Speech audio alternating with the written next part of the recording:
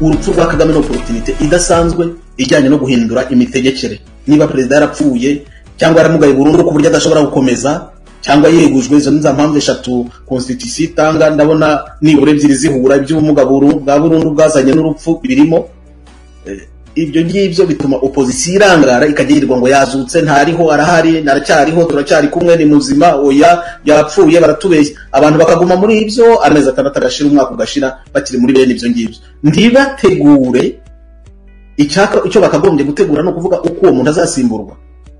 Bakibagirwa n'icyo perezida wa repubulika amaze mu gihugu.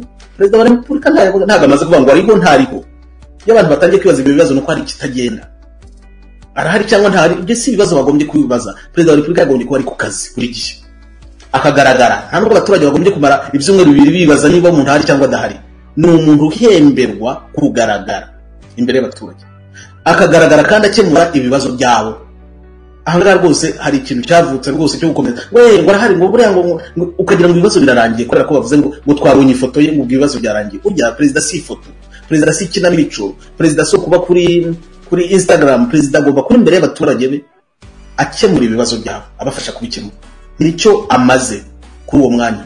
Ibyo atabikora bigomba kuvugwa. Kuko arahembwa kandi uhembwa menshi mu gihugu ni we uhabwa byinshi mu gihugu ari byo bamuhari n'ibyo yiha.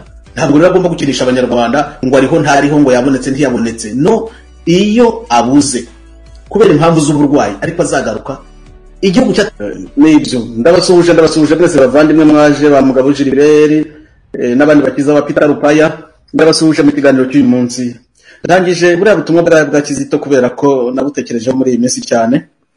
Uretse ubwiza bw'indirimbo yahimbye n'ubuhanga buri mu muziki ubwabo hari igihe umuntu yumva indirimbo gusa ntasubire inyuma ngo yumve ubuhanga buri mu gucuranga ubuhanga buri mu murya w'inanga. Mfite icyo mbiziho kera nkiga mu nyakibanda nigeze kuba organiste organiste gucuranga. Nkabira kizitacuranga ariko ariko ntabwo ari igihe wari umuhanga hari abahungu twiganaga bitwaga ba fideli rwose ba fideli bakubitaga intanga nawe kandi witwa organiste ukicara ukamureba ukanezerwa. Ari na mwarimu wacu ni we watwigishaga ibyo bya oruge ni ukuvuga ko ntabihaye umwanya muremure nubwo nabikundaga cyane. Nkunda rero kumva indirimbo ntabwo ndi umuhanga mu gucuranga ariko mu kuyumva no kumva ubuhanga buyirimo ibyo byo ntaho ntaho ntabwo wansinda indirimbo za kizito ntabwo ari message gusa zirimo n'ubuhanga mu gucuranga. Ni uko umuntu yumva gusa indirimbo uko yasohotse ariko ntusubire nk'inyuma ngo wumve ibyuma yashyizemo ukuntu amajwi asobekeranye asobekeranye ubishyikaho ukumirwa ni umuntu wari ukwiye kugenda ataduhaye ubwo buhanga ngo abuhe abana bacu abigishe kuririmba abigishe gucuranga abigishe gukompoza twarihombeye nta kundi wamwishe icyo akora ibyo biramureba ariko twarahombye ukagenda ukajya muri mesaje yari mesaje ikomeye cyane nk'ubwo nyine nabuze numva iriya ndirimbo yitwa iteme ni ho nakuye kariya kariya kariya gapasaje kenda gusoza mbahaye cyakindi iteme rizaduhuza rizatuma twubaka igihugu. Kuko ibyo ni byo nibazaho buri munsi. Igihugu uriya rwanda tuzarwubaka gute koko? Ngo rube igihugu abantu bashobora kubanamo. Batari ku iterabwoba batari kwangana batari kuryana kizito nyine akavuga ati iteme murabizi iteme n'imbabazi nta kindi. Nimukora ku buryo ntabwo mushobora kubaka igihugu abahemutse n'abahemukiranye n'abahemukiwe batarimo. Mugomba gukora uko mushoboye kose iryo teme mukaripanga ubundi mukarinyuraho n'ubundi nta gihugu muzaronka nta gihugu muzagira. Ahandi akavuga ati rwose kora eforo kora uko ushoboye kose utega amatwi urundi ruhande. Urundi ruhande wumve akababaro kabo nukumva nabo bazatega amatwi bumva kawe. Uwo mwitozo uragoye cyane mu rwanda nk'urwacu ahantu harimo urwango harimo amaraso harimo kwicana uvuga ngo ugiye gutega abandi amatwi ntabwo ari umwitozo woroshye cyane ntabwo ari uwa bose ntabwo ari uwa bose uragoye. Ariko tugomba kugerageza kubera ko niyo kondisiyo yonyine yo kuba twakubaka igihugu kirimo kirimo amahoro igihugu abantu bashobora kubaho. Ubu abantu bakutse umutima abantu barahahamutse abantu barahangayitse tumaze imyaka makumyabiri n'ingaho umutima uba mu mutwe. Ibyo bintu byakagombye guhagarara kugira ukuntu bihagarara abantu bakagerageza kumva abaturage no kumva akababaro kabo noneho abantu bagashyiraho nabivuga ngo kizi bagashyiraho fondasiyo wenda bagatangira kure ariko bagashyiraho fondasiyo yo gutuma u rwanda rw'ejo abantu bashobora kurubamo batuje. Umuntu akaryama agasinzira mu gihugu. Cye atavuga ngo baraniga muri iri joro. Baranyica ndaburirwa irengero baranyambura ibyanjye baransenyera ibyo ngibyo dushaka kugeraho muri iyi minsi rero tumaze iminsi amezi arindwi yose tuganira ku kibazo gikomeye gikomereye igihugu gikomereye igihugu cy'ibura rya kagame mu ruhame mu ruhame rw'abanyarwanda. Yarabuze neza neza. Harabura twatangiye tuvuga tuti umuntu yarabuze bukeye tuti umuntu yararwaye bukeye tumenya amakuru tuzi kurwara gusa ni ugushirira ubwonko umuntu akaremba biza kurusoza no kuvuga ngo urupfu. Urupfu rwa kagame twararuvuze igihe kirekire. Ntabwo yigeze ajya ahagaragara ngo atunyomoze ngo atuvuguruze twararuvuze rwose bihagije. Noneho uh, urwo rupfu ndagira ngo twongere turugarukeho gatoya. Turugaruke kuko ni ikibazo ki- kiremereye abanyarwanda ku buryo bugaragara. Nyine tumaze amezi arindwi tuvuga iby'urwo rupfu gusa. Iby'urwo rupfu. Aho kugira ngo ayo mezi tuyamare turi gupanga ngo u rwanda rw'ejo ruzamera rute? Twarugenza gute turapanga iby'urwo rupfu? Turanako turavuga iby'urwo rupfu. Ariko impamvu abantu rutindaho ni uko urwo rupfu ari ikibazo kikaba n'igisubizo. Ni ukuvuga ni opportunity. Urwo rupfu banza ari cyo kiraro kibanziriza kiriya cy'imbabazi kugira ngo abantu bagire ikindi bubaka. Kuko kagame akiriho agikora uko akora ntacyo abantu bageraho.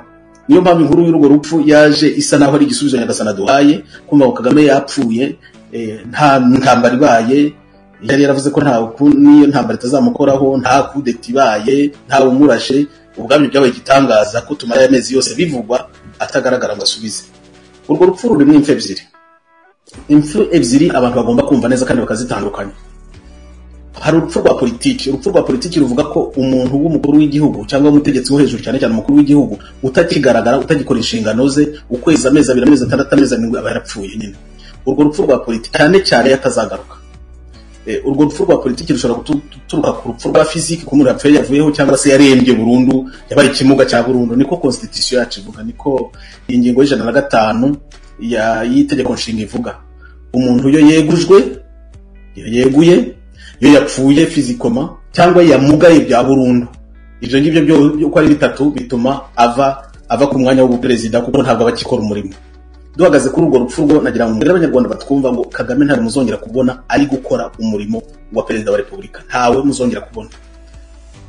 Barabereka byinshi muri iyi minsi na byo tugiye kuganiraho barabereka ibinyuranye ariko paul kagame ntabwo muzongera kumubona imbere y'abaturage eh, yiyamamaza avuga gahunda akanga abantu mu buryo bwo kubakanga ko nk'uko yari abitumegereje imyaka makumyabiri n'ingahe urwo rupfu rwo rwarangiye kera rurangijwe n'uburwayi bwaherekejwe no gushirira mu mutwe. Urupfu rwa fizike amakuru twabonye ku rupfu rwa fizike rwo kuvuga ngo eh, eh, ngo kagame n'ubuzima nyabuzima no gushyingurwa ayo makuru twarayababwiye ariko ayo makuru twakomeje kuvuga ko ntabwo ari twebwe dushinzwe kuyatangaza ku mugaragaro. Ubu ni cyo kibuze nyine kubivuga ku mugaragaro. Bizavugwa n'umuryango we bivugwe na perezida wa kuru supreme kuko ari we ufite inshingano zo kuvuga ko umukuru w'igihugu kagame nk'umukuru w'igihugu atakiri mu ntebe ye ya, perezida wa repubulika. Niwe ufite uburenganzira bwo kubivuga ni nawe ushinzwe kubivuga ku buryo ofisiyeri ngewe nabibabwira ko nabyumvise ariko n'ubundi aba ari amakuru agomba guhamwa mbese agomba gutangazwa ku mugaragaro. Icyo ngicyo mucyumve neza igihe perezida paul kagame eh, bizaba ofisiyeri ni umukuru wa eh, wa kuru supreme. Ejo bundi nabonye bamucomora barongera bamugarura ku mafoto bavuga ngo ngo yabonanye ngo na perezida kagame. Sinzi impamvu bamuzanye kandi yari amaze amezi arindwi adakoma tumaze iminsi tuvuga ati abo bategetsi bagiye he bagiye. Ejo bundi byarantangaje ahubwo nagiye kubona mbona na perezida wa sena ngo yasohotse ngo yaganire ngo ndanuhungire ngo bamwifuriza imirimo myiza. Batangiye kubatwereka batangiye kubatwereka. Ni ukuvuga ko perezida wa kuru supreme ni we ushinzwe ni we ushinzwe eh, gutangaza iby'uru- iby'urupfu rwa perezida. Bari baramuduhishe hashize amezi arindwi. Ejo bundi yaragaragaye bwaganiriye na kagame. Niba bari bari kuganira ko igihe kigeze cyo kubitangaza simbizi nta- ntabwo nabihagararaho. Ariko byarantangaje ko bamwereka ndezi iryayo. Noneho batwereka na perezida wa sena nawe tutaherukaga kubona guca iryera bavuga ngo yaganire ngo ndanduhungire he ngo amwifuriza kuzajya mu mirimo myiza mu budage. Nako mu buhorandi. Kuki se ari we utangiye kubimwifuriza noneho ukabishyira no mu mafoto. Ba- bamwemereye se ngo asimbure noneho yatangiye imirimo ye. Nabyo ndetse bizaza na byo bizaza. Ariko mumenye ko twabyitegereje twabibonye. Donc urupfu rwa politike urupfu rwa politike muza- bazabivuga ku mugaragaro ariko nta kagame muzongera kubona ko umurimo akora umurimo wa perezida. Ndongera asobanura icyo uwo murimo wa perezida uvuga. Naho urupfu rwa fizike rwo murutegereze narwo bazarutangaza. Bazarutangaza ariko eh, muzabyemera byanze bikunze ari uko baberetse ko yashyinguwe. Ibindi umuntu yababwira byose gukomeza gushidikanya ni aho ngaho bishingiye. Eh, umuryango ugomba kuzabivuga nk'uvugira umuryango nka kagame umuntu w'umugabo wari ufite umutegarugori afite na famiye umuryango uzabivuga. Ariko mu rwego rw'igihugu nk'umukuru w'igihugu ibyo ngibyo bizavugwa na perezida wa kuru supreme uranteze iryabo batangiye kutwereka kandi bari baramuduhishe. Ibyo ariko ibyo ariko mbabwira ni amakuru ntabwo ari ibitekerezo ntabwo ari ibyifuzo. Sinifuriza kagame gupfa nta nubwo nigeze mwifuriza gupfa na rimwe. Nta mpamvu yo kubimwifuriza ntabwo ari njye wamuremye eh, ntabwo mbimwifuriza. Ariko ni amakuru ariho kandi sinda- sindayasubiraho. Nababwiye umunsi nzisubiraho nkavuga ko ayo makuru wenda atari yuzuye. Nijye nzamubona imbere y'abaturage. Atari ukuvuga ngo ari mu- muri twa dutsiko twe tw'abantu udashobora kuverifiya niba yarahari cyangwa atarahari. Ngo yari ari kumwe n'abasirikare. Ngo yari ari kumwe ngo n'abajyanama be noneho. Ngo yari ari kumwe ngo n'inshuti ze. Ibyo ngibyo turabirambiwe cyangwa online. Online ni ukuvuga ngo eh, ntabwo ashaka kwiyereka abaturage ngo aza- ngo azajya abikorera ngo ku ikoranabuhanga. Twese tuzi kureba filime twese tuzi kureba movies tuzi uko zubakwa barazitwubakiye zihagije kuri icyo kibazo. Izo movie ntabwo ari zo zizahindura imyumvire twari dufite. Ariko ikibazo noneho umuntu yakwibaza abantu bakomeje kukibaza ariko se padiri kuvuga ngo kamera yarapfuye umuryango we na kariya gatsiko kamwegereye cyane baba bafite inyungu ki zo gukomeza kutubeshya ngo kagame ariho kandi yarapfuye kandi adahari byaba urupfu politike byaba urupfu fizike zaba zombi bafite inyungu ki mu kutubeshya icyo rero ni cyo nifuzaga kubaganirizaho none ni cyo nifuzaga kubaganirizaho none kuko numvise hari abantu babyibaza ubwo babyibaza ubwo nuko ari ikibazo koko kuki muri iyi minsi cyane cyane muri iki cyumweru agatsiko eh, kari kwirya kakimara kakerekana kagame agihari kurwana intambara yo kwerekana ko agihari. Mu by'ukuri ntibari kutubwira ko ari perezida. Bari kutubwira ko agihari gusa. Nicyo bari kutwereka. Baramutse batubwiye ko ari perezida hari aho twabibonera. Ni uko yaza ari kugerageza gukemura ibibazo by'abanyarwanda kuko ni cyo yatorewe. Cyangwa se ni cyo twemeza ko yatorewe. Nicyo twifuza ko yatorewe. Yaza akagira icyo avuga ku bibazo bibangamiye abaturage. Akavuga ikibazo cy'inzara. Akavuga ikibazo cyo gusenyera waba uri perezida ugasohoka kiriya kibazo cya barinyahe kimaze amezi kiri kwegana ntugire icyo kivugaho koko. Icy'abagore bafashwe ku ngufu n'abasirikare ntugire icyo kivugaho na busa cyane cyane kugira ngo ugire uko ugikemura ariya mande y'urudaca aca- aca- atagangaje abaturage. Waza uri perezida ntugire na busa na busa na busa ikintu wa- wa- wabivugaho na busa koko. Uri perezida. Bariya ba- ba- ahubwo na- nahoze menya n'amakuru y'abantu y'abantu bari bari muri za hahoze ari ruhengeri cyangwa za musanze batuye iruhande rw'ibirunga bari kwirukana n'ubundi bari ba- benda kwambara amasambu yabo ngo sinzi impamvu. Abasirikare baraza ngo kagame yaje ba- ba- bakarangaza abantu bakagira bate mu kandi kanya ngo mwimuke naho bibereye muri bizinesi yo kwimura abaturage mu masambu yabo. Tuzabibabwiraho utamu ijisho rya rubanda. Hmm? waba uri perezida ukaza ba noheli bari gufata ubwo muri australia bari gufata ibiganiro bati twabuze abantu ukaza ntugire icyo uvuga ku bibazo abantu bari kuvuga. Abantu bari kuvuga ko ibitaro byawe bigurisha ingingo z'abantu z'abantu bibaga abana b'u rwanda zikajya kugurisha ingingo. Ibyo bintu wo kumva ari ibintu bisanzwe ntacyo bivugaho ntacyo biguhangayikishijeho. Muri ubu bintu bishoboka mwebwe muri ubu bintu bishoboka. Uwo kagame utavuga ibibazo nyabibazo bihangayikishije abantu. Ngo yagaragaye. Biriya bihita bigaragaza ko agatsiko kari mu ntambara gusa yo kugaragaza ko kagame yaba akiriho. Byonyine ngo aracyahari. Kuki bashaka kutugaragariza ko ariho? Bigatuma bacura amavideo bagacura amafilime bagacura bakazana abantu benda gusa nawe bakazana abantu bavuga nka we ni bwa buryo butatu nyine bwo kumusimbura no kumwerekana. Gucura amafilime bakatwereka amafoto ye ya kera bayambitse amagambo cyangwa bayambitse udupfukamunwa. Eh, ku- kuzana ba bandi bita suzi twarabivuze abayisiraheli batubwiye ko afite batatu akoresha. Akoresha rwose kandi yatangiye gukoresha mbere yuko anagira ikibazo. Kuzana amafoto gusa yo kuyakubita aho ngaho ya kera uvuga ngo ngo ni we uyu munsi ibyo ngibyo tumaze kubimenyera byose. Kuki umuryango we na kariya gatsiko bari kubikora? Ngira ngo ni cyo abantu bakwiye kumva neza ngira ngo eh, nk'uyu munsi ni cyo nifuza kubaganirizaho. Erega ndagira ngo mubyumve neza bavandimwe mubyumve neza. Umuryango n'agatsiko bafite inyungu ikomeye mu gukomeza kwemeza abanyarwanda n'abanyamahanga ko kagame yaba akiriho. Impamvu kandi namwe murayumva. Kurekura ubutegetsi umaranye imyaka makumyabiri n'itandatu ukaburekura. Gutyo gusa bigutunguye. Wari uzi ko kagame azabaho iteka ryose ugakomeza ukamuriraho wajya kubona pafu ukabona ubutegetsi birahagaze. Kuko guhagarara kwa kagame gupfa kwa kagame ndetse no kuremba ubwabyo no kuremba kumugara bya burundu byari bihagije ataragera no mu rupfu ngo bumve ko ubutegetsi bwabacitse. Aho harakomeye. Itegeko nshinga riteganya ukuntu umuntu ava ku butegetsi inzira eshatu. Niba kurangiza manda byo ntibirirwa bivuga ibyo ni ibisanzwe ariko niba umuntu abaye ikimuga bya burundu niba yeguye cyangwa yegujwe cyangwa apfuye azize agisida cyangwa hari indi mpamvu itumye apfa ubwo butegetsi nyine aba yabuvuyeho. Iyo ntebe nta muntu uba ukiyicayeho. Intebe y'u rwanda rero nta muntu uyicayeho kubera ko ubumuga bwa burundu bwabanje mbere n'iy'urupfu rwa fizike eh, n'urupfu rero birimo nuko batarabidutangariza nuko batarabidutangariza famiye ye rero cyabikomeyeho ntabwo ishaka kurekura ubutegetsi. Kubyemeza umunsi babivuze ku mugaragaro ni ukuvuga ko bazaba bemeye kurekura ubutegetsi. Ariko mwo- mwongere mwibuke ikintu nigeze kuganizaho mu minsi ishize nanjye nagikoze nyuma ya nkete ndende nabajije abantu bo muri perezidansi uko babayeho nabajije abantu babaye hafi ya kagame nabajije harimo umwe w'umudamu rwose wansobanuriye numva ndasobanukiwe ibintu yambwiraga ko nawe yakoze muri perezidansi arambwira ati paul kagame n'ubundi nta muntu wari usanzwe uzi amakuru. Erega ibi turi kubona bisa naho n'ubundi uretse korona yamuhemukiye n'ubundi niko yari asanzwe yiberaho yari asanzwe yigendera yirirwa yigendera yitemberera isi yose. Icyakora nibura icyo gihe yari yerekanaga nibura yaba ari muri amerika tukamenya ko yagiye muri amerika kwikinira ya mikino yiwe tukamenya ko yagiye kwitemberera no kwisurira inshuti ze ariko ngo yabaga yagiyemo no kwivuza ntibabivuge byo. Nibura icyo gihe baramubonaga. Rimwe na rimwe bakabona araje ubundi aka- akananyuzamo akajya gusura abaturage. Wenda ntagire icyo abamarira kidasanzwe ariko akanabakanga akanabatuka akanagira gute nibura bakamenya ko hari Mm? n'abarwana burya baba bariho nta kibazo. Ubu rero noneho no kubera guhera muri korona byararangiye nako si korona no guhera nyuma y'urupfu rwa kizito ibintu byose byararangiye. Nyuma yo kwicwa kwa kizito amaze kwica kizito sinzi uko byamugendekeye ubanza indwara yarihuse mu mutwe cyane eh, n'ubwonko bushirira vuba vuba kurusha ibisanzwe biba birarangiye. Famiye ye rero yatinze kubyemera n'agatsiko kamu- ka- ka- kamu- ka- ka- kamukoreraga ku gatsiko k'abantu bake cyane niko uwo mudamu yanyumvishije ko ariko n'ubundi kahatangaga amabwiriza kakayaha inzego z'ubuyobozi. Kakayaha abadepite abo mu nteko ishinga amategeko kakayaha abaminisitiri kakayaha abashinzwe umutekano bo bakabaho ku mabwiriza gusa aturutse kuri ako gatsiko gatoya kayafata kwa kagame. Kagame nawe amaze kuyafata ku mupfumu. Byajya sarongo nuko nuko babagaho. N'ubundi kagame ntibamubonaga ari gutegeka. Ni na yo mpamvu yabasangaga mu nama nk'iriya y'umushyikirano akabatukirayo ni ho yari ababoneye.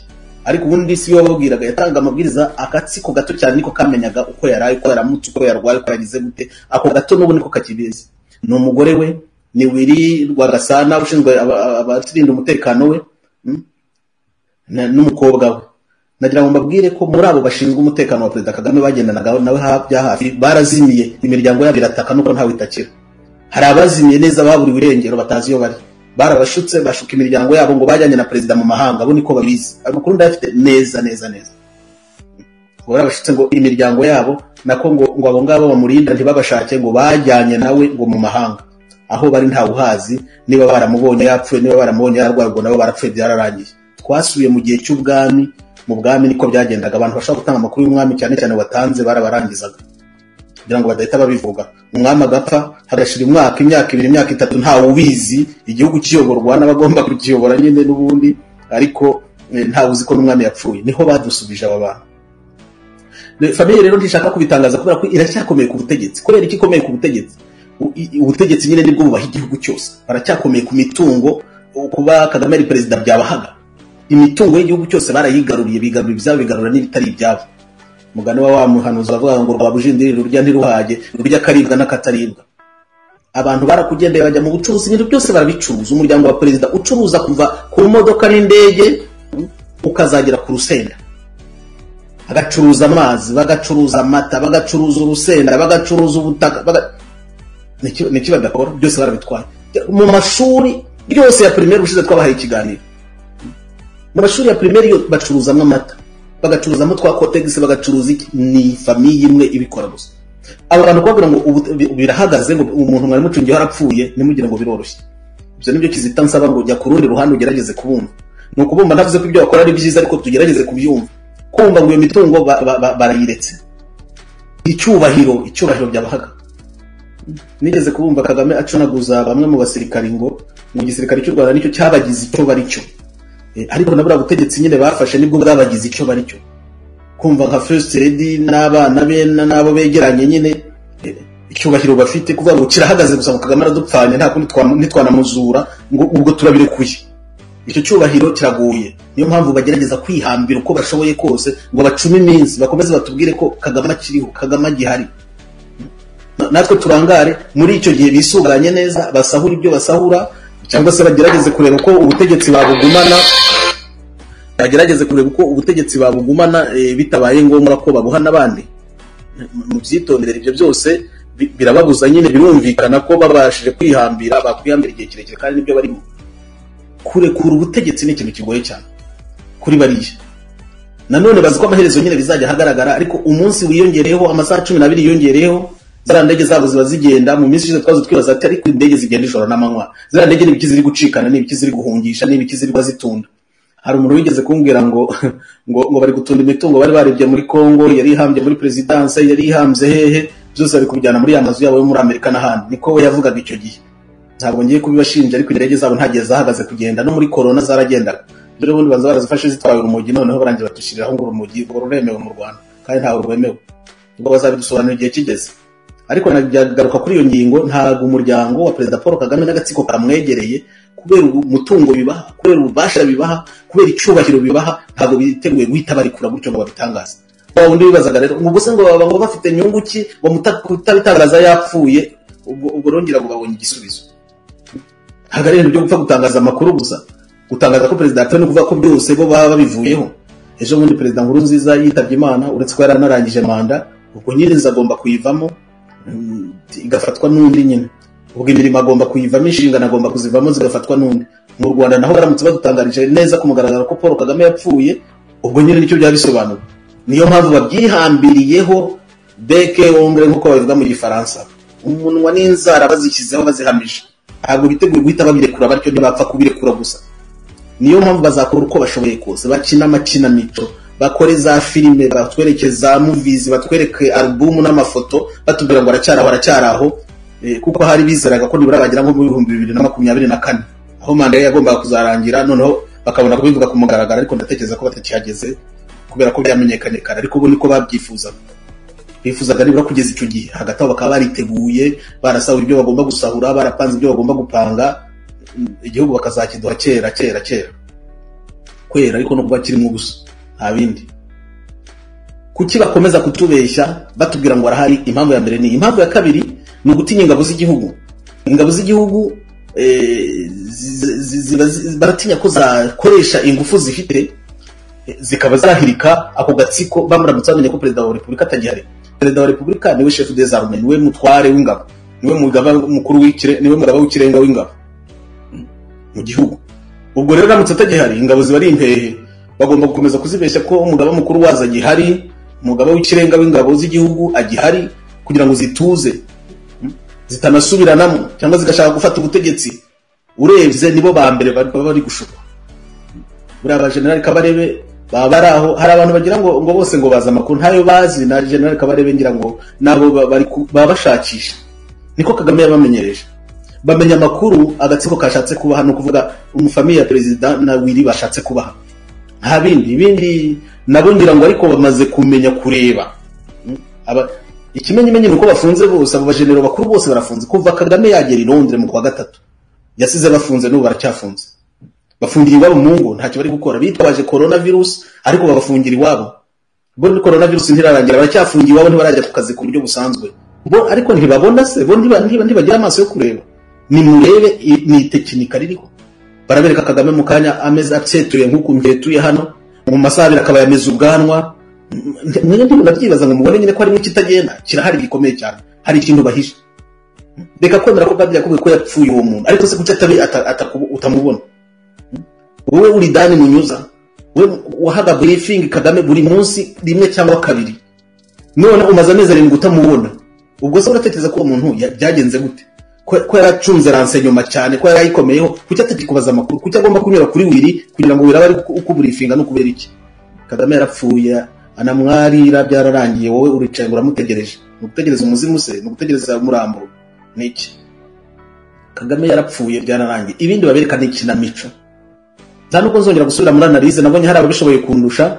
Njya nseka cyane iyo numvise iyo numvise nka gisovu kibuye ari kubisobanura neza n'amafoto yayo yafotoye gisovu kibuye atanga amakuru atariho umukungugu. Yabifotoye neza ari kubereka ati dore amafoto dore dore dore dore dore dore dore. Ati kuki kagame akomeza kugaragarira ahantu hafungiranye gusa? Ntajya ahantu hari abaturage benshi bashobora kumureba basanzwe bamuzi. Kuki agomba kwereka? Imbere y'abanyamahanga gusa babandi batamuzi. Kubera iki icyo gihe cyonyine? Cyakora ejo nanjye narumiwe bari kuvuga ngo ngo kagame ngo yasuye ngo abasirikari gako. Mbabwiye dore dore aho nibereye. Nzira abantu batatu bari mu ikosa aho ngaho igako baranyibwiriye bati uwo muntu bari kuvuga ko yadusuye ntawe twabonye. Namwe murabafite si njyewe ubazi njyenyine. Mubaze abantu bari mu ikosi igako. Hari abashaka gusubiza ikibazo nabarinyenzeho ubushize ko mu by'ukuri abofisiye barangije iko- ikosi bagenda babahaye amapeti ariko nta perezida wabasuye ni cyo bashaka gukosora nta kindi. Ubushize sinabibabwiye mu kiganiro amakuru na yo narayakwezi ukuntu bagiye amapeti bayafite ariko bagenda basesera kuko kagame ntawabasuye navuze ko ari ikimenyetso kigaragara ko atagihari ni byo bashatse kutubeshya ngo babikosoye none. Mubaze abantu bari ku ikosi igako barababwira ko uwo muntu ntawe babonye. Njyewe nabikoze ariko mbere yo kuza mu kiganiro. Barakubwira ko uwo muntu bavuga ngo yagiye mwiga ko ku bana bari mu ikosi hariya. Nta nta reka reka. Abarangije bararangije baranatashye. Ab'uyu mwaka iyo kosi yagiye gusura niya nta bahari ntawe uhari ntawe babonye. Ibyo ndabibibwiriye kandi sindi kubivugira niherereye. Namwe mubaze abantu bari ku ikosi niba ibyo ari byo byose bariya abana bari ku ikosi hariya bariya abantu bafite imiryango yabo mubibarize. Barakubwira ko nta kagame wahageze. Ibindi rero ni ibipfiritirano ni ibihimbano. Disikuru yavuze ngo ari kubwira abasirikare ngo mwayumvise. Irimo iki? Irimo iki? Ubusa. Irasubiza iki ku bibazo bya bindi byose twavugaga abaturage bibaza. Zero. Ni ukuza kutubwira gusa ngo uwo muntu arahari. Arahari se amaze iki? Arahari se atumariye iki? Aba- ababifitemo inyungu ni babandi maze kubabwira bo mu muryango we bashaka gukanga abasirikari bashaka guka- ku- ku- ba- bagundira ubutegetsi ntabwo byo kutubwira ngo arahari we ntawe uhari ntawe rwose. Muri ibyo bya gisovu kibuye hari ahantu yagiye ashushanya ni mu ndebere none. Bamaze iminsi batubwira ibya covid cumi n'icyenda ndebere ukuntu bari abasirikare bacucitse. Reba ukuntu bicaye intebe ku yindi intebe ku yindi bagiye baforoda agapfukamunwa bagapfa kuko bashyiraho eh, eh, umutware tv yatweretse uko bikorwa. Atari ko reba ukuntu bacucitse. None se covid yarangiye noneho? Ko bacucitse nk'abari mu isoko? Iyi foto ni iy'umwaka niyo mu myaka yashize bari baratweretse n'ubundi twibuka neza niyo bongeye baragarura ngo niko bameze. Ngo nibo yavuganaga nabo ndeka da ni tekinika. Mu- mucunga ku kantu gusa n'uriya musore niba ari umusore niba ari umugabo simbizi witwa gisovu kibuye yerekanye avuga ati dore ukuntu bacucitse twaba turi muri covid cumi n'icyenda abantu bakicara umwe ku wundi umwe ku wundi n'ukuntu kagame abitinya ibyo ngibyo. Ni tekinika batuzaniye. Yavuze n'ibindi bimenyetso ndetse yavuze na bikeya hari n'ibindi eh, eh, kumwereka atembera wenyine atembera wenyine. Nigeze kuganira hari abantu bigeze kunganiriza nako bigeze kuganira nitambukira.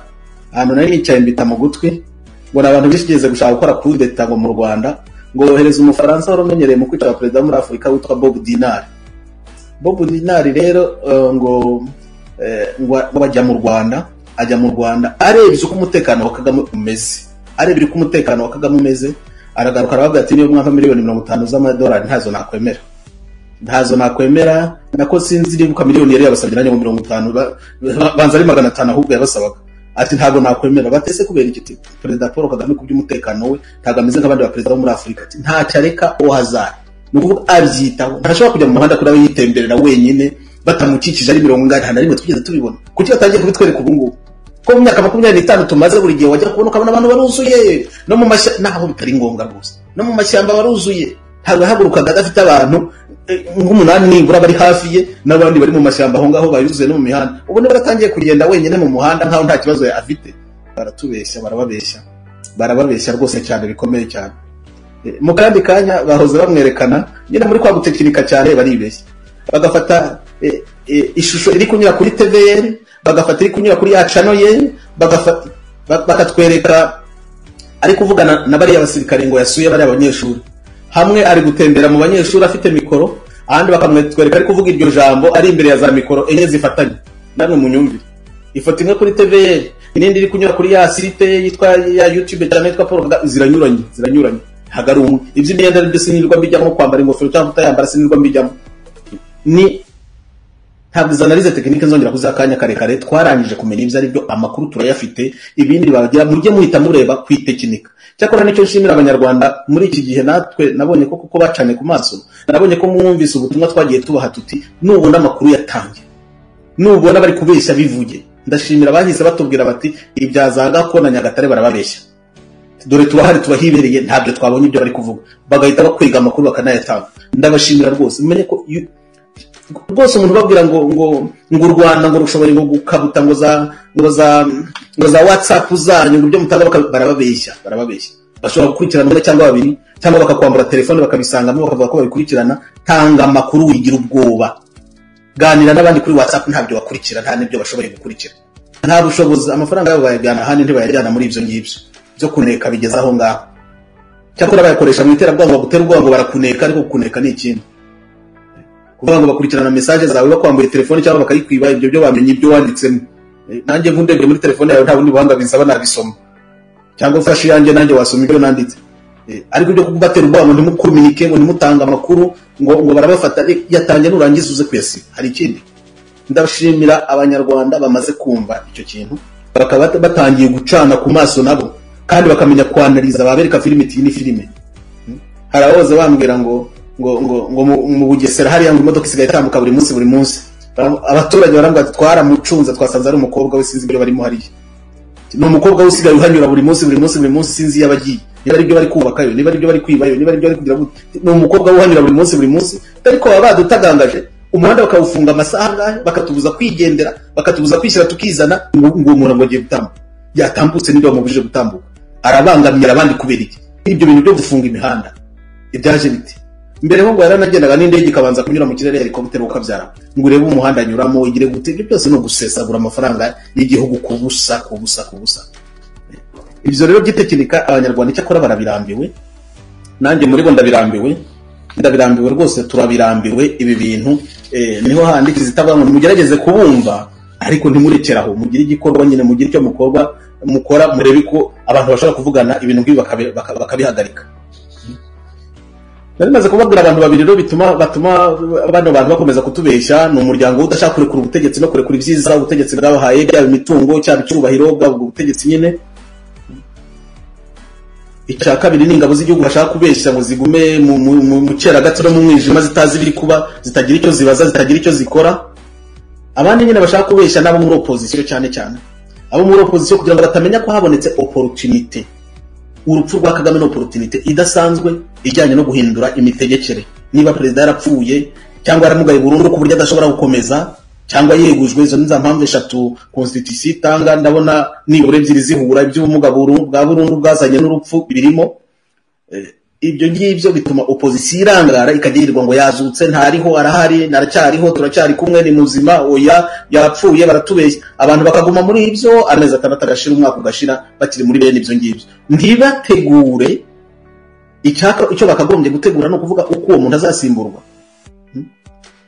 Bagahera gusa mu cyeragati ni uko nguko opozisiyo akaba ariko kazi iba mu mpuha. Twamubonye ntitwamubonye yazutse ntiyazutse.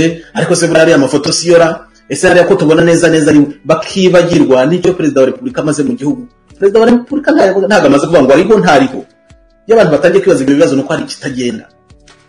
Arahari cyangwa ntahari ibyo si ibibazo bagombye kubibaza. Perezida wa repubulika yagombye kuba ari ku kazi buri gihe. Akagaragara. Nta nubwo abaturage bagombye kumara ibyumweru bibiri bibaza niba umuntu ahari cyangwa adahari. Ni umuntu uhemberwa kugaragara imbere y'abaturage. Akagaragara kandi akemura ibibazo byabo. Ahangaha rwose hari ikintu cyavutse rwose cyo gukomeza. We ngo arahari ngo buriya ngo ukagira ngo ibibazo birarangiye kubera ko bavuze ngo ngo twabonye ifoto ye ngo ibibazo byarangiye. Burya perezida si ifoto. Perezida si ikinamico. Perezida si ukuba kuri kuri instagram perezida agomba kuba imbere y'abaturage be akemura ibibazo byabo abafasha kubikemura. Nicyo amaze kuri uwo mwanya. Iyo atabikora bigomba kuvugwa kuko arahembwa kandi uhembwa menshi mu gihugu. Niwe uhabwa byinshi mu gihugu ari byo bamuhari n'ibyo yiha. Ntabwo rero agomba gukinisha abanyarwanda ngo ariho ntariho ngo yabonetse ntiyabonetse. No iyo abuze kubera impamvu z'uburwayi ariko azagaruka igihugu cyateganyije uko bigenda. Asimburwa na minisitiri w'intebe agakomeza kumusimira agakomeza gufata ibyemezo kugeza igihe undi azagarukira. Mwabonye ko minisitiri w'intebe akimusinyira n'ubu batubwira ngo arahari bazasobanura impamvu minisitiri akimusinyira uwo muntu atisinyira. Atisinyira kandi yagombye kuba ahari. Kuki atisinyira? Minisitiri w'intebe yabaye datirogarafe wa paul kagame wa perezida wa repubulika. Ntabwo ariyo nshingano ya minisitiri w'intebe. Perezida wa repubulika afite ibiro bye afite abakozi be afite chef du personnel be afite abasekereteri be afite abaminisitiri na perezidanse abo bakora umurimo wa perezidanse kuki ari minisitiri w'intebe ukora byose kandi undi batubwira ngo arahari bamutweretse ngo yagiye mu manama ngo yagiye mu basirikare. Iryo hurizo ninde ushobora kuridusobanurira. Iryo hurizo ninde ushobora kuridusobanurira. Aracyamusigira se kubera iki? Nabyo mu tekinika babihindure atangire yisinyire. Ndabizi ejo bazabikora. Atangire yisinyire bajye gushaka sinyatire cye kandi cyangwa umukobwa we ujye musigira birangire. Iryo hurizo ryo murarikemura mute eh, gatsiko niba hari agikora ibiro bya minisitiri w'intebe n'ibya perezida byabaye bimwe byagenze gute? Mwabidusobanurira ibyo ngibyo. Ni ukurangaza opozisiyo kugira ngo duhore muri ibyo twibaza ngo arahari cyangwa ntahari tunibagirwe tunibagirwe impamvu twagiye muri politiki. Ntabwo ngewe nagiye muri politiki ariko mvuga ngo nzajya mvuga urupfu rwa kagame. Ntabwo ari icyo ngicyo kinshishikaje ikinshishikaje ni impinduka nzima mu gihugu kugira ngo bari abaturage barengana. Barenganurwe hanyuma igihugu kijye ku nzira y'iterambere rirambye kandi risangiwe. Ibyo ni byo bitekerezo ni byo byagombye kuntwara igihe kurusha guhora mu kwibaza biriya ni tekinika dore bambese uyu muntu ntahari uyu muntu arahari? Biriya ni rwose n'iteme badushakiye yo kuturangaza. Yo kuturangaza ariko ntabwo twanze kurangara kuri icyo kibazo kuko ni ikibazo gikomeye. Kuko hari abo numvise bisho ariko se ngo urupfu rwa perezida kagame ngo aramutse apfuye cyangwa adapfuye ngo bimaze iki ngo ntacyo e e e e e abo bantu bariganira ariko abo bantu bariganira ntibazi ibyo bavuga. Nibajya kubivuga bajye bihisha byacengere munsi y'igitanda kuvuga amagambo nk'ayo ngayo ngo urupfu rwa perezida ngo ntacyo ruvuze. Uwo muperezida kandi akaba ari kagame ufite byose ukora imirimo yose ufite byose mu biganza. Uwo muntu apfuye ahubwo se utumva ko politiki ari aho ngaho iri we azabyumva ryari? Gupfa kwa perezida wa repubulika kwaba gupfa mu buryo bwa politiki kwaba gupfa ku mubiri ni ikibazo gikomeye mu rwanda. Ariko ni n'igisubizo umuntu utabireba ngo abihe agaciro yaba ari gukora ibindi bititwa politiki. Wenda yaba ari umuntu hari umuntu w'inshuti ye bampamagaye ejo bundi. Na ejo da ejo ari mu buhorandi turaganira ambwira ukuntu yikundira perezida kagame ndabanza mwuka inama ariko yanga kuva ku izima tu. Ndavuga ngo we ntacyo umbwira niba uri inshuti ya kagame none uje kumbwira ibiki. Yanga kuva ku izima turaganira. Kugeza arambwiye mesaje yashaka kumbwira arambwira ati we padiri reka ukira kuvuza induru uvuga ko perezida yapfuye ariko yari yababajwe nuko navuze nyine ngo nacuruza ngo ibitaro bye bicuruza ingingo. Aravuga ati biriya bintu uvuga urabona bitari ibintu bikomeye ngira ngo aranyumva muri kano kanya. Ati kubera icyo bivuga kuri kandi perezida wa repubulika paul kagame nta muntu n'umwe ari yishe rwose ari umuntu mwiza cyane. Nuko byageze ndaseka yumvise hari nta mushirangi ifite inyigisho za kizito ni hatari hari igihe zijya zidakoraho nageze aho nanjye birantangaza ukuntu ndi kumwuka inabi ngo ndeke ariko agakomeza. Akomeje rero numva bibaye urwenya ndasekaho gakeya. Noneho bituma tuganira. Noneho dusoza mbwiye ngo niba ari umwanya nshaka uzagende bangire meya ahantu ngo ngo bagire meya ngo kagame ngo tuganire ngo twumvikane ngo bagire meya ngo ariko nkuri ndura aho ngaho. Noneho ndamubwira nti meya se nuko abyara mwe? Njye ko nashatse kujya mu rwanda se akambuza kabiri kose. Ngo ntabwo ari kagame akubije wimubeshya urabizi neza. Ureka ntabwo yigeze nanakubuza ndetse urabeshya. Noneho numvise ari urwenya ndamubwira waretse kuvuga se n'ibyo utazi ko nibura ibyo byo mbizi neza. Nuko dusoza twumvikanye ko rero nzavugana na kagame mukampa umwanya w'umumeya ahantu. Ngo cyangwa w'umudepite ngo nuko nkareka rwa serera we yumvaga ari igisubizo ampaye gihagije rero ngo ntigihagije azanshakire kagame niba kibaho tuvugane. Nanjye ni byo namye nsaba ariko ibyo ubumenyi aba abyihoreye ntacyo aba abihaye abandi ntacyo bitwaye. Ntawe ubujije abantu bakunda kagame kumukunda ni umuntu wese agomba kugira abamukunda. Cyane cyane abo yakijije abo yahaye imyanya kandi nabo bariho. Abo yagiriye neza ntabwo nabo yagiriye neza. Abo ngabo nabo bariho. Ubwo rero abo ngabo rwose kubivuga byakumvikana kandi baba bari mu nshingano zabo. Ariko natwe rero bo muri opozisiyo dushinzwe kureba ibitagenda kugira ngo bikosorwe. Dushinzwe kumenya niba uwo muntu ahari cyangwa atari ku kazi. Mu mezi arindwi ashize umuntu yataye akazi. Ntitwamenye impamvu twaje kwimenya nyuma ko umuntu ahubwo yagiriye ibibazo bikomeye umuntu akarwara umuntu akitaba imana ntibabitubwire. Nicyo kibazo twagize. Ubwo rero bari kutubwira biri icyo nabonye ingaruka bigira barabizi neza icyo baba bari gukora kugira ngo abo muri opozisiyo badacanye ku maso barangare. Bigumire muri ibyo ngo arahari ngo twamubonye ngo twagize gute? Mwamubonye se mwamubonye ari gukora iki? Mwamubonye ari gukora akazi se? Mwamubonye hari ikibazo cy'abaturage ari gukemura se? Mwamubonye ari gukora iki koko? Urupfu rw'umuperezida wa repubulika ni ikintu gikomeye cyane. Rwaba urwa politiki rwaba urwa fizike urunguru rw'umubiri rwo gupfa bushyingurwe ni ibintu bikomeye cyane mu rwego bihita bihindura amateka y'igihugu. Bihita bihindura amateka y'igihugu ako kanya. Kuko nibura muba muteganya ko mugiye kujya mu matora abantu bagatangira kwisuganya birumvikana naho abantu niba batabizi bazatungurwa bajye kubona hashyizweho inzego batazi n'aho ziturutse. Bazajya kubona abone janeti ejo namubonye akora disikuru nk'iy'umukuru w'igihugu. Mu gihe mu gihe com bari bari kuvugaho inkuru ebyiri nibura zivuga ubuzima amavu n'amavuko ya kagame n'ubuzima bwe bamutaka nk'uwo bagiri gusezerera warangije urugendo. Janete we yafashe ijambo avuga nk'umukuru w'igihugu. Genda ari kwitegura kuzafata ubwo butegetsi akaba ari umukuru w'igihugu wenda bazabitubwira. Abo muri opozisiyo barasamaye bararangaye ubu kagame arahari arahari se amaziki ari gukora akazi ke ni cyo kibazo cy'ingenzi. Kagame hari nka perezida cyangwa hari nk'iki? Yahindutse umukinnyi wa filime. Yahindutse umukinnyi wa filime bajyana hirya yakinnye ibingibi bari mu muhanda wenyine bari kuvuga disikuru z'impimbano. Ejo bundi twaramukirititse ngo yibagiwe icyongereza none cyagarutse. Nicyo mbakundira rero bariya bantu mu gatekinika twamukiritse tuti kagame wibagiwe icyongereza. Kagame yibagiwe gukanga abantu no gutukana. Kagame bari kutwereka ko tubona ari umu- ari karidinali noneho kurusha kambanda bite byiwe? Nuko. None icyongereza banza cyagarutseho gakeya ariko iri kinamico banyarwanda banyarwandakazi cyane cyane abo mu muryango wa kagame n'agatsiko ke ni muri hagarike ntacyo rimaze. Abanyarwanda basigaye bacanye ku maso barabareba mu mutwe barabareba ibyo murimo. Kandi bazabibaryoza ni cyo kibazo. Ntabwo muzabisimbuka ibi bintu. Ni mu bihagarika ibi bintu mubwiza abanyarwanda ukuri. Ni byo byiza. Ibyo mutasabuye nimurekeraho mwibye byinshi mwarihembye mugerekaho n'ibitari ibyanyu ntacyo bitwaye. Ntawe bibabaje none. Nimuhagarike uyu mukino abanyarwanda baruhuke.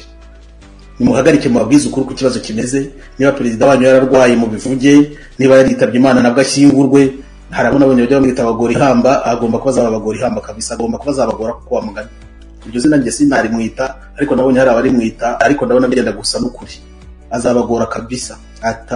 Nanjye kuvuga mu giswahili reka ngihure azabagora azabagora. Ariko ntacyo azabagora nimwe muzaba mwigora nimuvuge muzaba muri baba barigora hari umugabo twiganye witwaga barigora ni umupadiri yari yaje kuba umupadiri witwa barigora.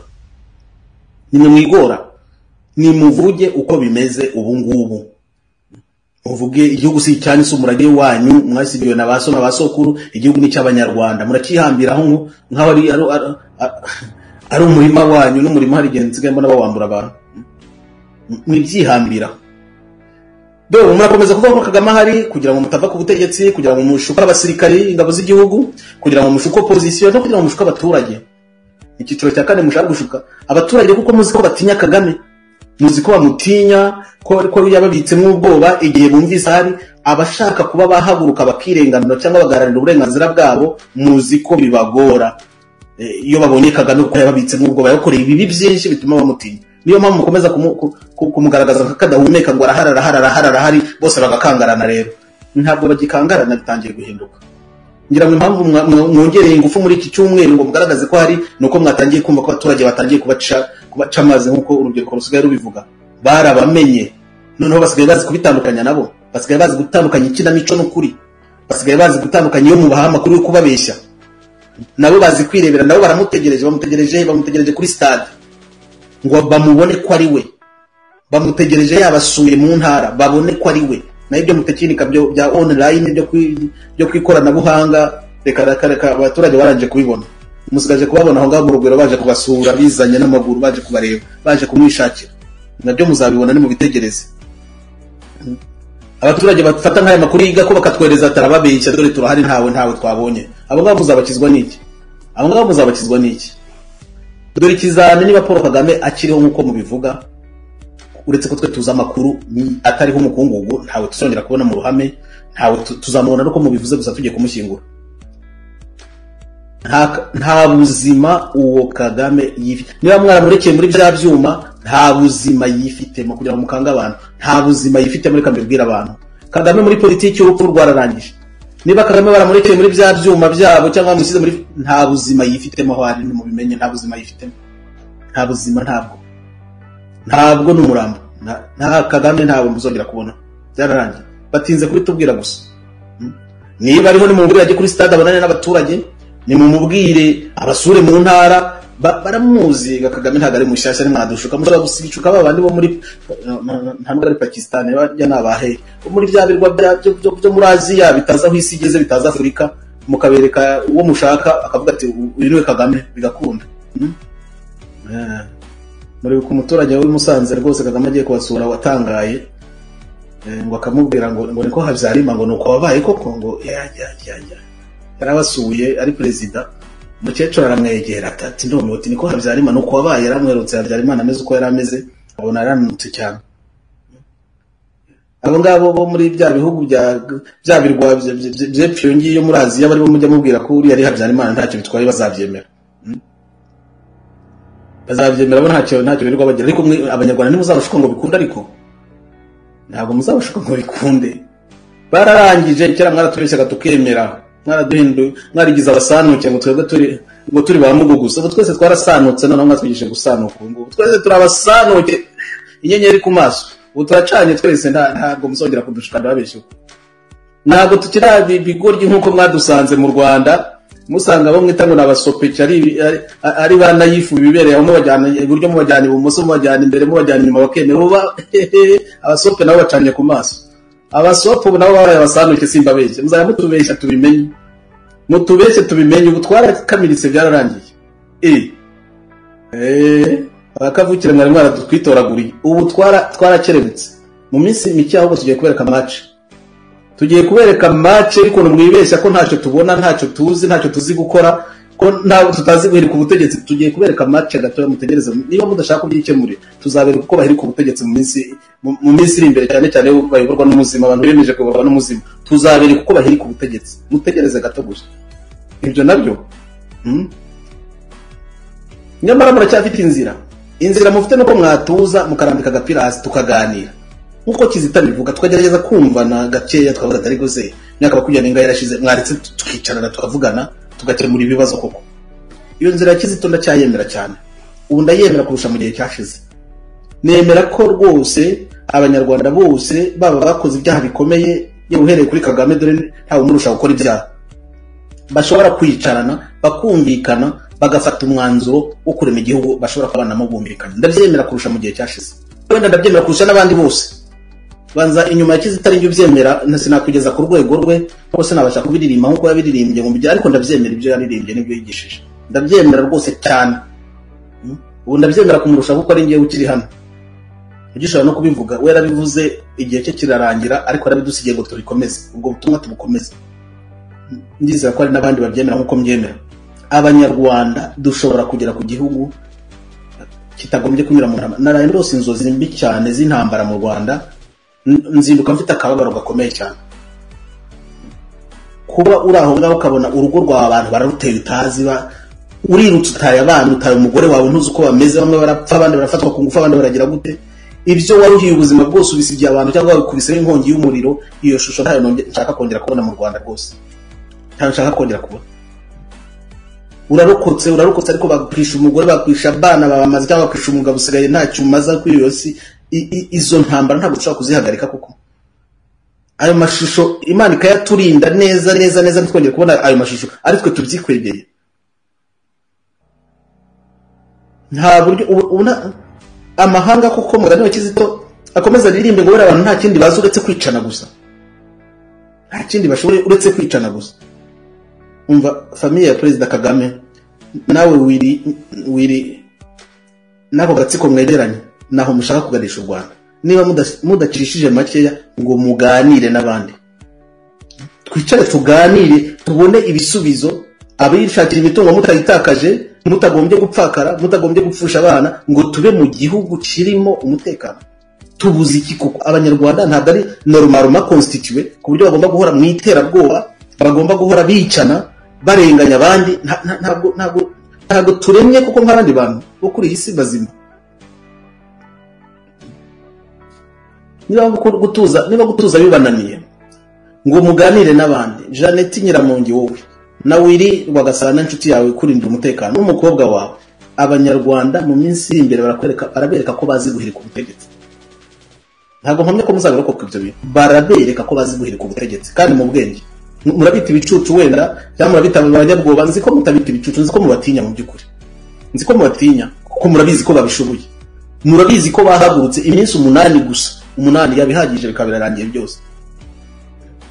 Niba iyo mace mushaka kuyibona yuko abanyarwanda bakabakwega kuri romvuwe mwambaye ubusa na byo muzabibona. Uretse ko atari byo mbifuriza mu by'ukuri.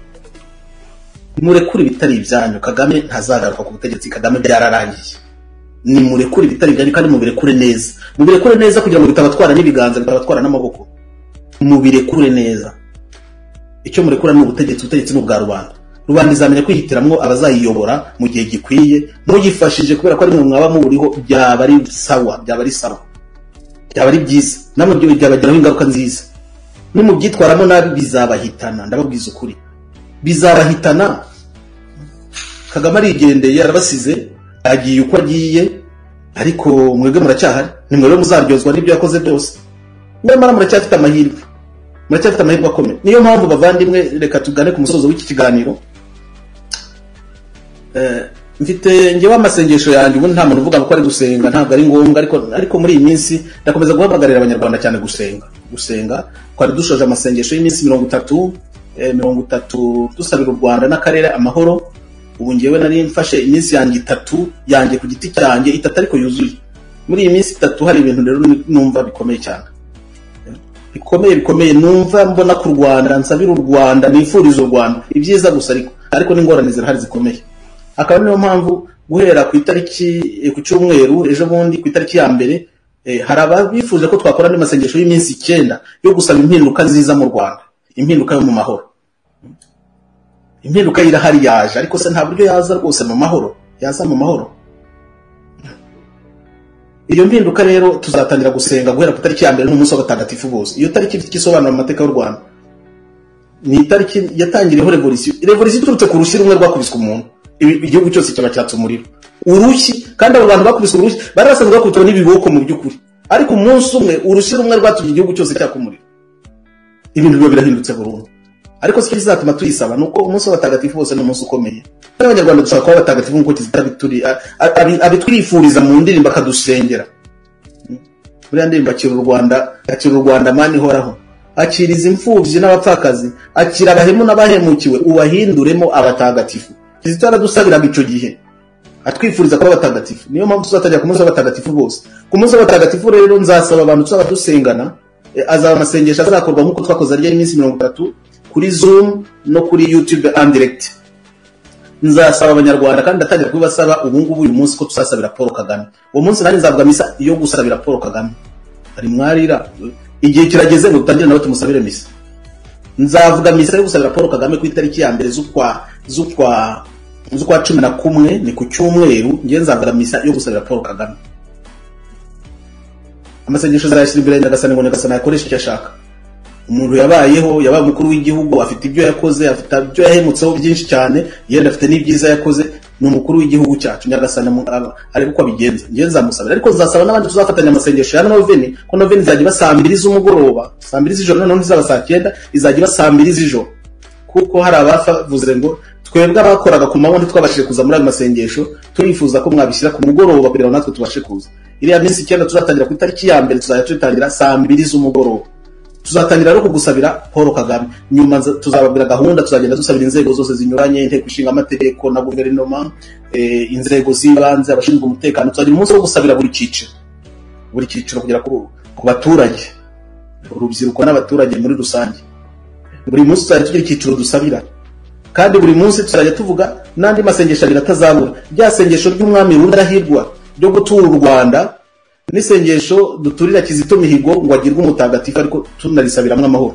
Ayo masengesho ntazabura niyo azaba ari ingenzi muri iyo noveni tuzajya twumva n'ijambo ry'imana tunariganireho ariko tunatura ayo masengesho yombi. Isengesho ry'umwami rudahigwa atura u rwanda n'isengesho rya kizito mihigo usabira u rwanda amahoro. Ibyo ntibizabura tuzahera kuri kagame rero tumusabira. Cyane tu- tubivanye ku mutima.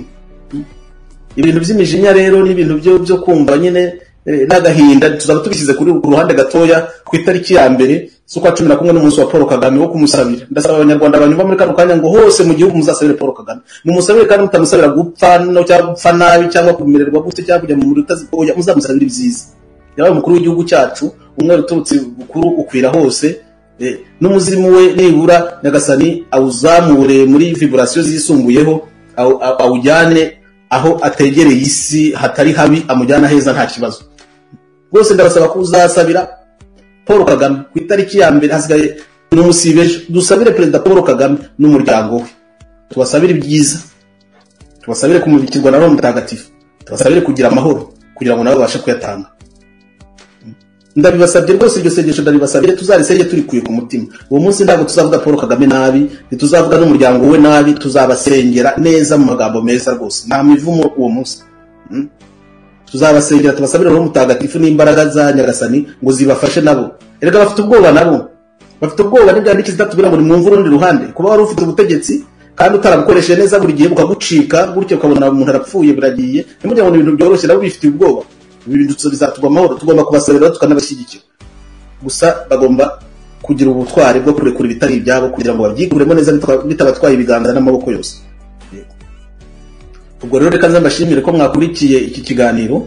Eh, ntabwo nakorerwa nsoza maze kwivugira isengesho ntabwo nsoza mvuga ngo niba batabisobanuye neza aba- abanyarwanda bagiye kubereka uko bazi guhirika ubutegetsi ntabwo ari cyo ndi busozerezeho. Ndasozereza ku cyizere cy'uko ibintu iwacu bishobora guhinduka bitagombye gusaba abaturage ingufu nyinshi zo guhaguruka bajya gukora imyigaragambyo idasanzwe no kurwana no kugira gute. Ibintu bishobora guhinduka neza rwose imana. Niduhe umugisha rwose nitumenye turi gusenga kugira ngo bigende gutyo ibintu byacu bihinduke mu mahoro ya nyagasani.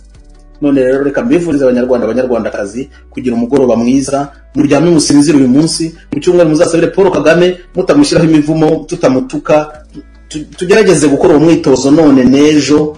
N'ejo bundi ku buryo bizajya kugera saa mbiri z'umugoroba dushobora gusabira paul kagame tutamuvumaguye tutamuvumaguye. Iryo sengesho ndari basabye abanyarwanda abanyarwandakazi ndabizi ko bigoye. Ndabizi ko bigoye. Hari uwisa nyandikira ngo ngiye nzamusabira umuvumo nagende. Oya yitwa tarisisi. Tarisisi ngo ngiye nzamusabira umuvumo no kurimbuka. Oya tarisisi iryo sengesho aho kurimusabira umuvumo no kurimbuka waryihorera ntacyo rimaze. Tarisisi tarisisi ngo azamusabira umuvumo no kurimbuka. Oya aho kubisaba ibyo uzabyihorera bitazakugaruka. Eh, sengera imana ku isi ikagusiga ivu no kubyitondera. Eh, tuzamusabira ibyiza. Eh, wenda azaba ari umunsi umwe gusa wo ku itariki ya mbere ku munsi w'abatagatifu bose uwo munsi ni uwa kagame rwose. Ndawumusabiye ndawumusabiye tuzawumuhe n'umuryango we kubasabira ibyiza. Kubasabira ibyiza kugira ngo abakiriho muri uwo muryango nyagasani abafashe baracyafite ibanga rikomeye. Mwibuke kera njyaga ntanga ibiganiro nkavuga ngo njyewe ndamutse ndi umujyanama wa kagame dore uko nabitekereza. Uko nemera ko iriya ntebe yari yicayeho ari intebe y'ibisubizo. Uriya muryango rero kuva utarabitangaza ku mugaragaro uracyafite ibanga wicaranye. Iryo banga ikiza warisohoza neza twabasabira bakarisohoza neza aho kugira ngo bazarisobanure bazarisohoze babakubisemo amapingu cyangwa bari, ku migeri n'ishyi ndumva atari cyo twakwifuriza umuryango wayoboye igihugu cyacu. Ngaho rero muraraharyana abavandimwe mwese mwese imana ibambere umugisha tuzahure eh, ku cyumweru muri ayo masengesho turi gusabira paul kagame mu madini yose. Hano nabonye tujya dusenga tutitaye ku madini abayisilamu aba- abaporo abadive abagatulika turahura tugasenga nabonye ari ibintu byiza cyane. Abafite ubuhanuzi bakabutambutsa abafite mesaje bakayitambutsa. Kuri iyi televiziyo isi n'ijuru nyine n'isi n'ijuru ni ibya twese. Nta vangura ry'amadini rihari. Icy'ingenzi ni uko imana dusenga ni imwe u rwanda twifuza ni urwacu twese. Ngaho rero mbifurije kujya mugubwa neza ku isi n'ijuru abibagiwe kwiyabonesha mwiyaboneshe. Abashaka kuba abamembazi kugira ngo batere bantere inkunga ngewe bantere inkunga muri ubu butumwa nkora mwaba mugize neza kuba abamembazi biroroshye. Mwakomereje kumbaza ibibazo eh, ndabisubiza mu ijambo rimwe gusa urabanza ukababone hanyuma ukakanda kuri ya yindi ya joindre cyangwa join ugahitamo plan imwe muri za zindi enye zihari ukagutera inkunga. Iyo ubibuze kuri telefone iyo ubibuze kuri telefone eh, ujya kuri computer urabibona. Eh, kandi kugira ngo ube watera inkunga muri ubwo buryo ni uko uba ufite carte bancaire kuko niyo umuntu akoresha ku bari mu mahanga rero badakoresha bank cards ntabwo byashoboka. Ariko ushaka gutera inkunga nawe atanyuze muri ubwo buryo ashobora kunyura mu yindi nzira akanyandikira telefone yanjye murayizi nakubwira indi nzira wanyuramo kugira ngo utange inkunga yawe. Ntutegetswe byanze bikunze kunyura hariya. Eh, telefone yanjye nongera nyibibutse guteranya mirongo itatu na gatatu gatandatu mirongo itandatu na gatatu mirongo icyenda na gatanu mirongo itanu mirongo irindwi na kane. Guteranya mirongo itatu na gatatu gatandatu mirongo itandatu na gatatu mirongo icyenda na gatanu mirongo itanu mirongo irindwi na kane.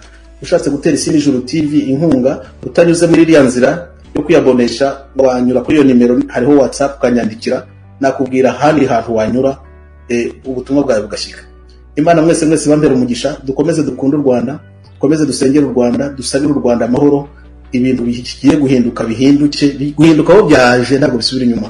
Impinduka impinduramitegekere yaje ntawe ushobora kuyisubiza inyuma. Ahubwo se nta buryo byaba mu mahoro? Tutagombye kongera gutuma abantu bacu bamena amaraso? Amaraso y'ubuntu nanone imana ibaha umugisha muramuke muraraharyana murakoze.